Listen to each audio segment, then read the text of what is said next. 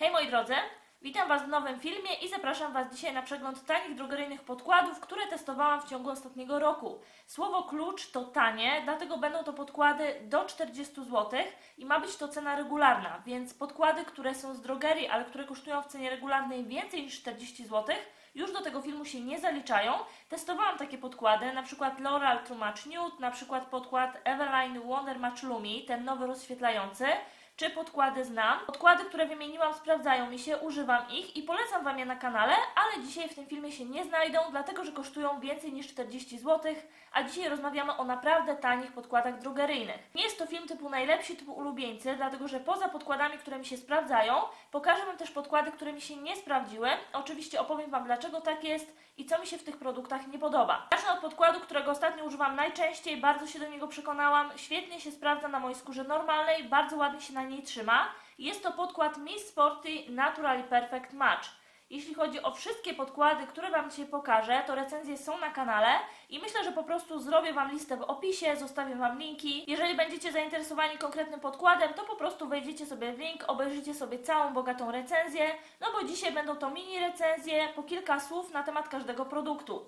Miss Sporty Naturally Perfect Match Podkład bardzo delikatny, bardzo lekki na skórze, a przy tym z fajnym kryciem, powiedziałabym, że takim średnim, jeśli chodzi o wykończenie naturalne z takim lekkim, promiennym błyskiem, ale to nie jest podkład rozświetlający, to nie jest nawet podkład rozpromieniający, tylko dający efekt zdrowej skóry. Podkład ma bardzo delikatną, nawilżającą konsystencję, nie jest zastygający, ale bardzo ładnie trzyma się na skórze, nie wyświeca się w ciągu dnia. Przy mojej skórze normalnej spokojnie 9-10 godzin wygląda naprawdę dobrze, bez zarzutu. Jeżeli wchodzi w załamania, to jest na tyle plastyczny, że można go po prostu delikatnie doklepać i wygląda cały czas dobrze. Cena regularna 34 zł, można go spokojnie kupić w promocji za około 20 zł. Mój kolorek to 160 vanilla. Przechodzimy sobie do kolejnego podkładu, do mojego hitu, jeśli chodzi o drogerię. Jest to Eveline Better Than Perfect. Mam go w trzech kolorach, jedynka, trójka oraz czwórka. Na ten moment używam odcienia 04 Natural Beige. Jest to podkład o formule lekko zastygającej, ale przy tym niewyczuwalnej na skórze, dlatego on jest trwały, ale jest komfortowy. Jeśli chodzi o jego konsystencję, no to jest taka delikatnie kremowa, ale powiem Wam, że po rozprowadzeniu nie czuć tego podkładu, on nie daje ciężkości. Podkład się bardzo ładnie wtapia, więc wygląda bardzo naturalnie, a przy tym ma całkiem porządne krycie, jest super wygładzający i to faktycznie widać. I moim zdaniem jest to najlepiej wygładzający podkład z tej półki cenowej. Jest w drogerii mnóstwo podkładów, które obiecują wygładzenie, a tego nie ma. Ten faktycznie wygładza strukturę skóry, upiększa tą skórę. No jest to naprawdę rewelacyjny produkt i jeżeli miałabym wybrać top 3, to na pewno ten podkład by się w tym top 3 znalazł. Co do ceny regularnej, on kosztuje 32 zł, ale bardzo często jest w promocji na przykład w Rossmanie za około 16 Pojemność 30 ml, także taka standardowa, wydajność całkiem fajna. Także jeżeli jeszcze nie znacie podkładu Eveline Better Than Perfect, to myślę, że warto się zainteresować. On moim zdaniem jest bardzo uniwersalny, bo jest lekki, a przy tym delikatnie kremowy. Może nie stricte nawilżający, ale bardzo komfortowy na skórze, więc myślę, że sprawdzi się i osobom z cerą suchą, i takim, które mają skórę bardziej tłustą i mieszaną. U mnie sprawdza się rewelacyjnie. Dalej podkład od Glam Shopu, jest to podkład rozświetlający. No i tutaj zastanawiałam się, czy ten podkład kupić, nie kupić, bo testowałam klasyk i on mi się w ogóle nie sprawdził. A ostatecznie się na ten produkt zdecydowałam i jestem bardzo zadowolona. To jest podkład idealny na co dzień, lekki, taki delikatnie płynny, który się ładnie wtapia. On powiedziałabym, że ma lekkie do średniego krycie.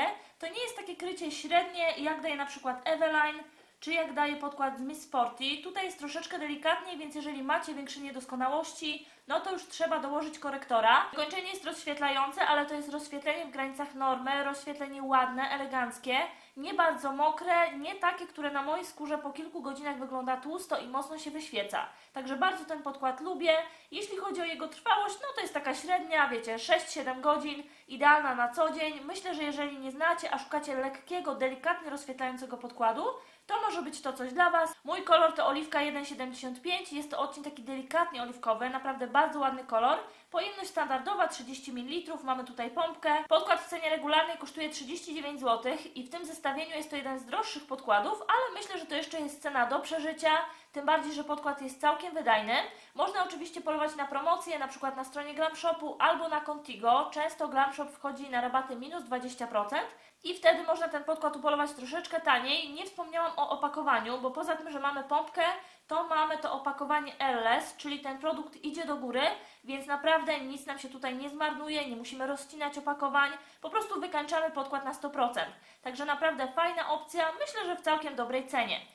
Kolejny podkład to AA, seria My Beauty Power. Po pierwsze fajny skład, 95% składników pochodzenia naturalnego. Po drugie lekka, przyjemnie kremowa konsystencja, która się fajnie rozkłada, która się nie osadza, tylko wtapia się w skórę.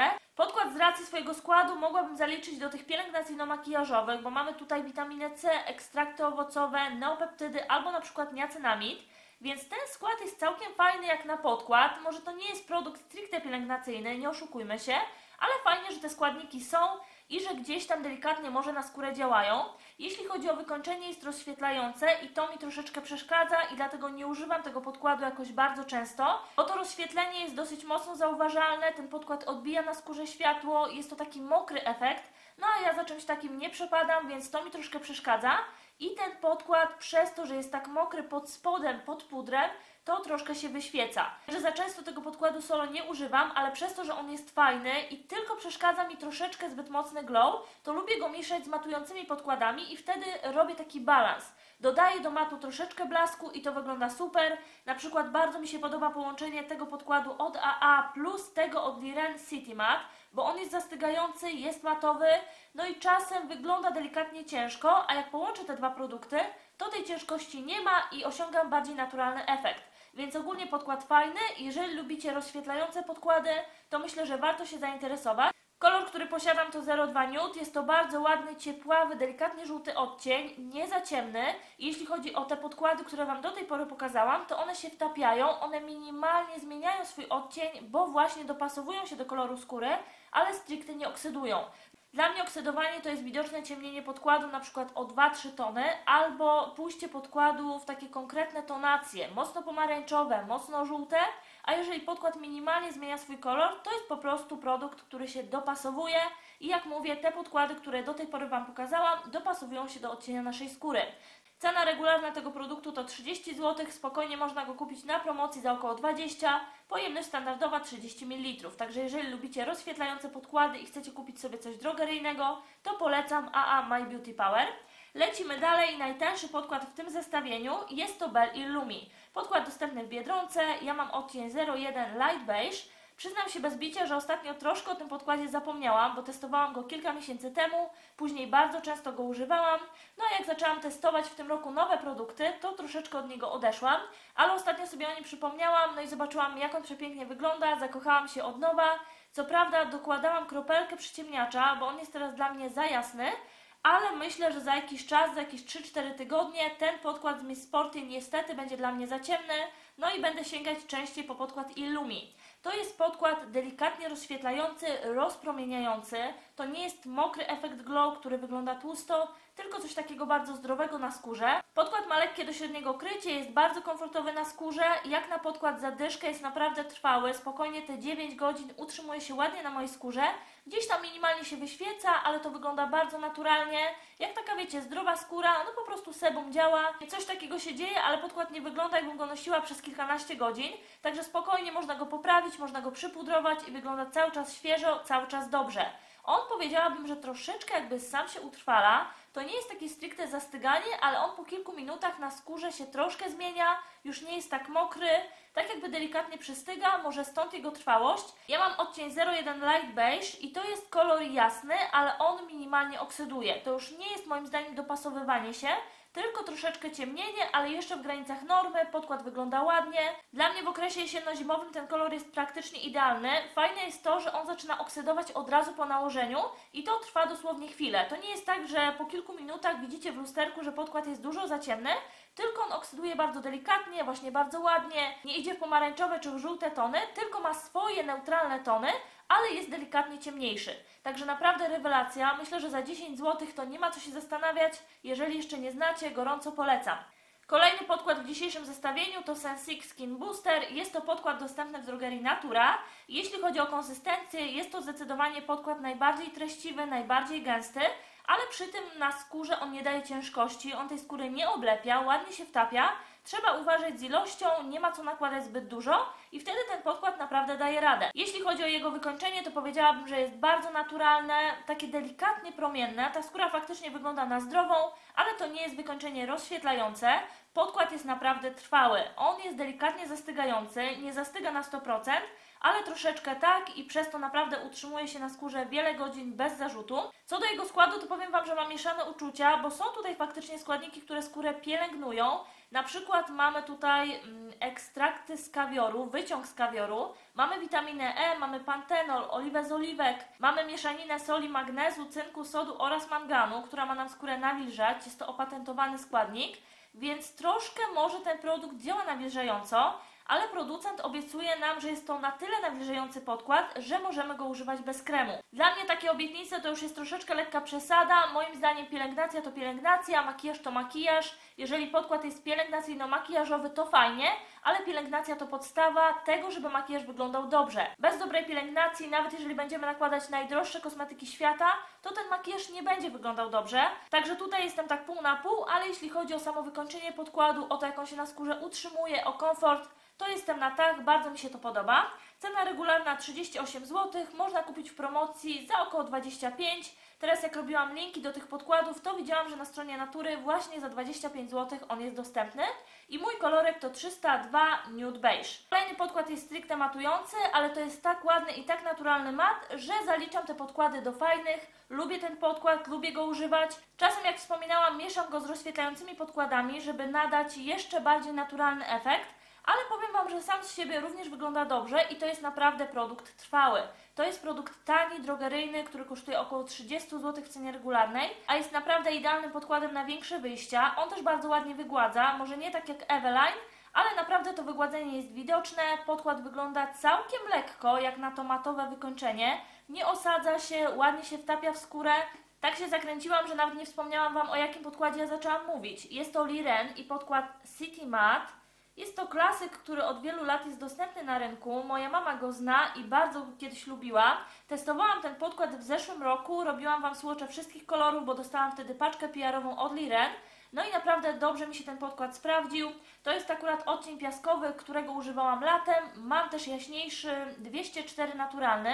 No i myślę, że będę po niego sięgać w okresie jesienno-zimowym. Trzeba zaznaczyć, że podkład troszeczkę oksyduje, także bierzcie na to poprawkę. Jeżeli będziecie chcieli przetestować ten podkład, to radziłabym sobie wziąć o ton jaśniejszy niż używacie zazwyczaj i wtedy powinno być ok. Że jeżeli polujecie na jakiś matujący podkład z drogerii, który wygląda ładnie, który daje naturalny efekt matu, a przy tym jest bardzo trwały, to polecam Liren City Matte. Kolejny produkt to marka Claresa i podkład Skin Maker Foundation. Jeśli chodzi o markę Claresa, to oni wyskakują z kapelusza z nowościami, ale to nie jest nowość, to jest ich pierwszy podkład. Testowałam go oczywiście na kanale. Jak mówiłam, wszystkie linki będą w opisie.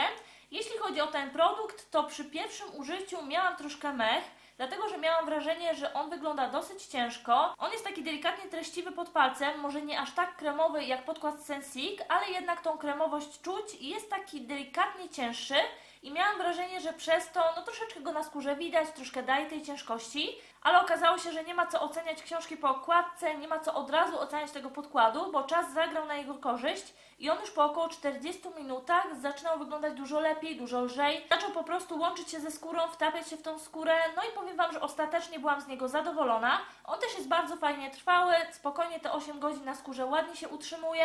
Podkład daje naturalne wykończenie z delikatnym efektem glow, ale bardzo delikatnym. To nie jest mokry efekt, to nie jest rozświetlenie, tylko coś takiego rozpromieniającego skórę. Także to mi się w tym podkładzie podoba. Produkt kolorystycznie jak jest w opakowaniu, jak jest na słoczu, taki też jest na skórze, więc na to zwracajcie uwagę. Jeżeli sobie dobierzecie idealny odcień dla siebie, no to on tak na Waszej skórze będzie wyglądał. Także ostatecznie myślę, że to jest całkiem spoko podkład. On jest troszeczkę na skórze widoczny. To nie jest podkład z efektem make-up no make-up, ale jest całkiem komfortowy, nie czuć go na tej skórze, ładnie się trzyma, także myślę, że spoko. Cena regularna to 30 zł, w promocji można go kupić za około 20, pojemność standardowa 30 ml, mamy tutaj pompkę. Jeśli chodzi o mój kolor 04 Natural Beige. Przechodzimy sobie do kolejnego podkładu. Jest to naprawdę tanioszka. Podkład, który regularnie kosztuje około 15 zł. Jest to Soraya Glam Makeup kryjący podkład pielęgnacyjny z efektem glow.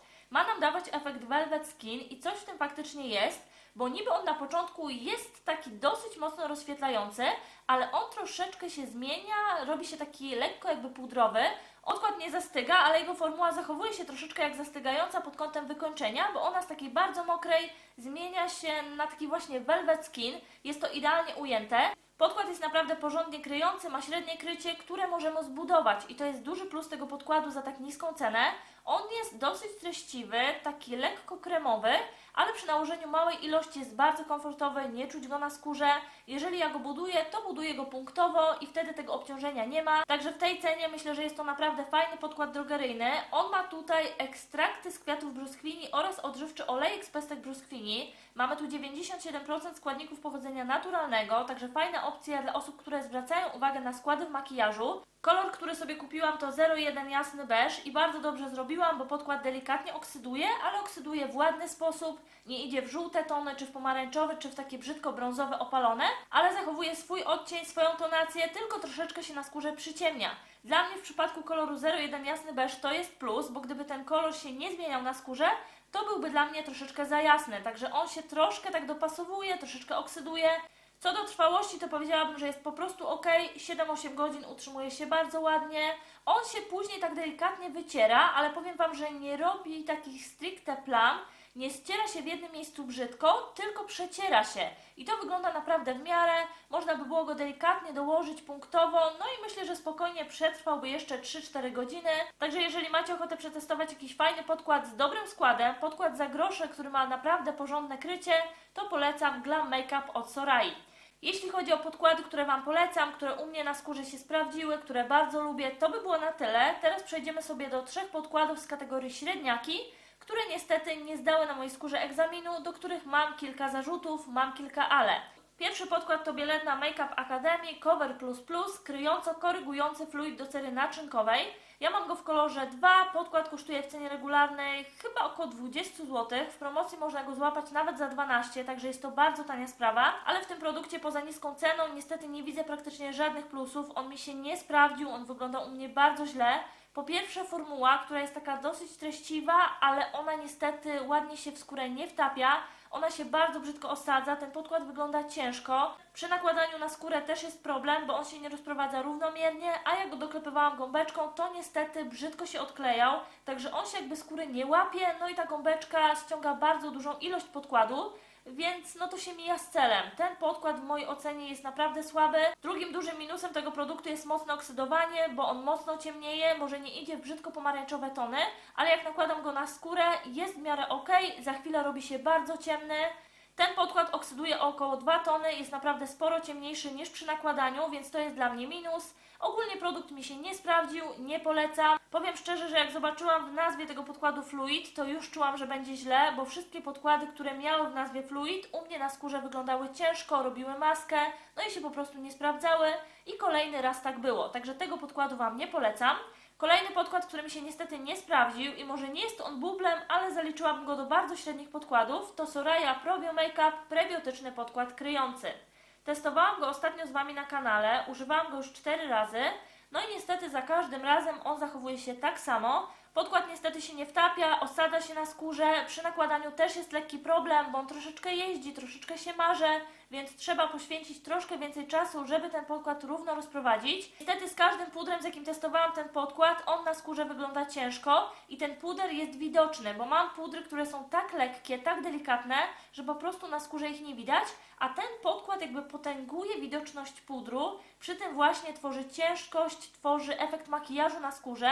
Może to nie jest stricte ciężka maska, ale jednak ten makijaż jest widoczny, Także krótko i na temat, podkład mnie nie zachwycił, jest moim zdaniem bardzo przeciętny i w tej cenie można znaleźć lepsze podkłady. Podkład ma średnią trwałość, średnio wygląda na skórze, więc może jeszcze go potestuję, może go połączę z jakąś bazą nawilżającą, ale w ostatecznym rozrachunku jest dla mnie bardzo średni. Ostatni podkład z kategorii średnie to Liren Isse Match mineralny podkład dopasowujący się i w przypadku tego podkładu, podobnie jak w przypadku podkładu z Sorai, U mnie na skórze on jest po prostu widoczny. Na mojej skórze on się osadza, wygląda dosyć ciężko, nie jest łatwo go rozprowadzić, bo on jest niby kremowy, ale taki delikatnie tłustawy, więc mi po skórze jeździ. Co do wykończenia, też nie do końca dla mnie, bo jest ono bardzo mokre. No i po kilku godzinach u mnie on po prostu wygląda nieświeżo.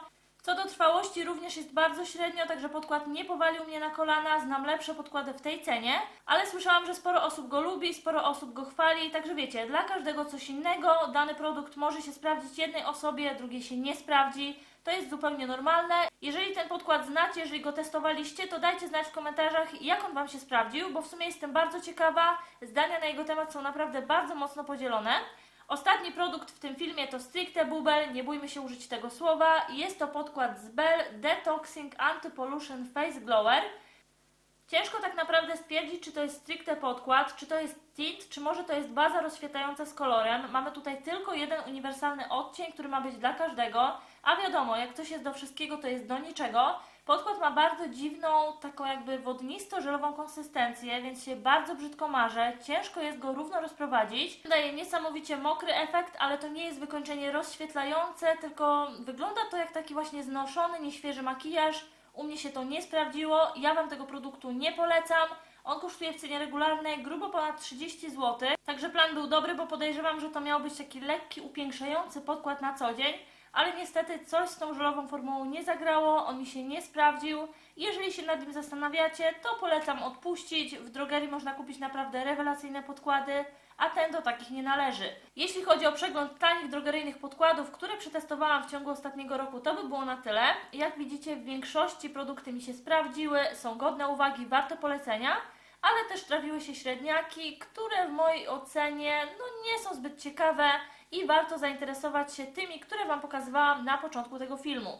Jeżeli filmik Wam się spodobał, zostawcie kciuka do góry, będzie mi bardzo, bardzo miło. Dajcie oczywiście znać w komentarzach, czy testowaliście podkłady, które Wam dzisiaj pokazałam i jak one się u Was sprawdziły, bo możliwe, że podkłady, które u mnie okazały się średniakami, dla Was są na przykład hitami.